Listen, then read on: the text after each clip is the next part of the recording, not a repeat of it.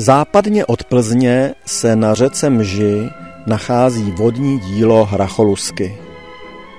Již v 90. letech 19. století byl přes tehdy hluboké údolí Mže budován železniční viadukt o délce 210 metrů se třemi poli ocelových příhradových konstrukcí dlouhých 55 metrů.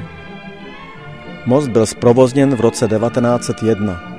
Pojďme si ho pohlédnout. Je zajímavý jak svým technickým řešením, tak zejména svým umístěním v krajině.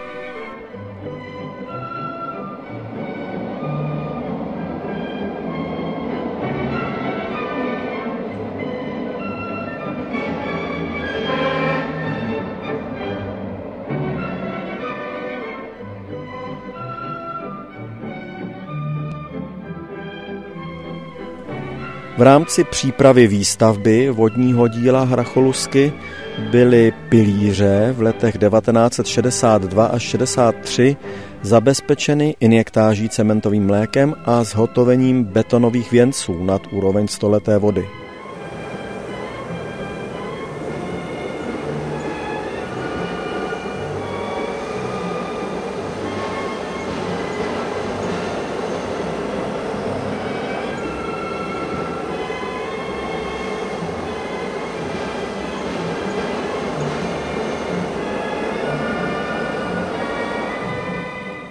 V letech 2018 až 2019 proběhla generální rekonstrukce mostu, spočívající především ve výměně ocelových polí za nová a sanaci zdiva pilířů a zaklenutých kamenných nájezdů na koncích mostu. Současně v té době byla instalována i lávka pro pěší, která kopíruje tvar oblouků nosních ocelových polí.